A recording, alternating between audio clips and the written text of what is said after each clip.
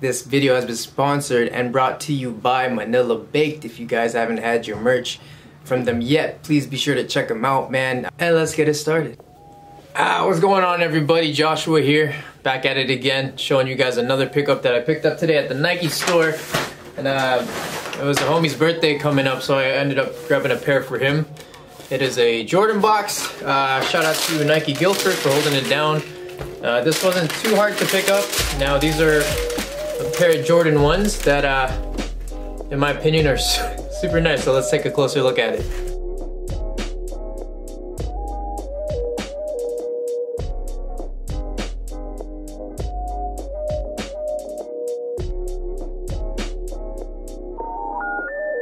All right guys, into the shoe. So the upper, you have a uh, mix of the synthetic leather and the tumbled leather at the top right here. So along the, so wherever the red region is, the varsity red region, that is in synthetic. And then the black region is in your tumbled leather. So bang, right here at the front of the toe. Right here by the uh, Nike swoosh. And then by the sock liner that's in black tumbled leather right there. Super nice. I personally would rather have the tumbled leather along the shoe just for overall comfort because I'm a big fan of just a big fan of it. This uh, the name of this colorway is uh, reverse bred, but on the box, just to give you guys the official name on the box, it says Gym Red, black and white. So it doesn't really give you much there. You know, for first time sneakerheads, bred is the mix of black and red.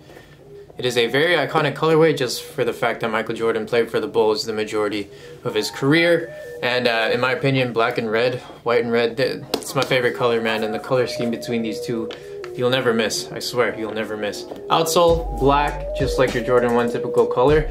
I personally like white. Uh, the white um, outsole is a little more, but but to each his own. And then on the midsole, right here, you have yourself the classic Air Jordan 1 midsole. Nothing too crazy, it's all in a white. And then, so by the outside you got yourself the stars there as well. And then down here by the midfoot you got Nike and the swoosh right here. Classic Jordan tongue, nylon, nylon material with the uh, red outlining right here. Jordan Jumpman right there, stitched in red. And like I said, nylon material. And then your traditional shoelaces here of the Air Jordan 1s. Lace tips, nothing too special. And then your basic uh, Air Jordan logo in gym red. On the back here, you got the classic Air Jordan logo. So this was the initial logo that Jordan used for the Air Jordan 1s and the 2s, and then he switched it up uh, into the Jumpman, the most iconic logo in sports history and maybe even like clothing brand history. Like you could just wear that and somebody on the street would probably know what it is. That's how iconic this brand has been. That's how iconic the shoe line has been in terms of hip hop culture, basketball culture, for it to combine all together. And even in like popular culture, you know, with movies and stuff, you see people wear, wear Jordans, uh, celebrities wear them too. We wear them, you know, from, from the highest of highs in terms of people to, you know, just your regular Joe. So, regular Joe? Average Joe. Average Joe. Very classic. The reason why I got this for him was because, uh, you know, he he did admire my sneaker collection. I mean, it's not the best, but in my opinion, I love what I have in my inventory. So, so yeah, this is something I wanted to jumpstart him with. I think uh, this is a really nice start to a collection. So, uh, yeah, I mean, you could you could definitely wear this with like your casual stuff, your jeans, your shorts, casual wear. You could dress them up, you could dress them down, however you want. So that's why I started with these. Obviously, the highs are probably the more top dog favorite choice, but you know, for a budget and for just for the sleek look of this and for a good price of $120, can't complain, man. So yeah, you guys, that's basically the shoe.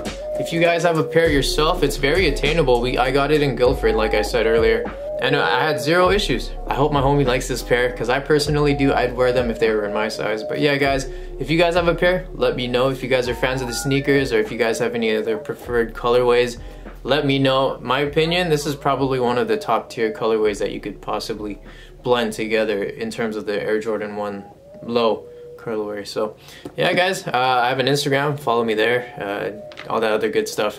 But for now, I'm out. Take care.